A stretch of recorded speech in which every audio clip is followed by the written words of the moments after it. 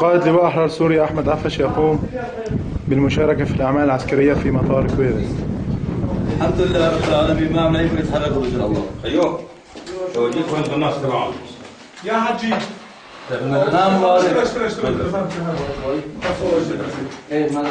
والله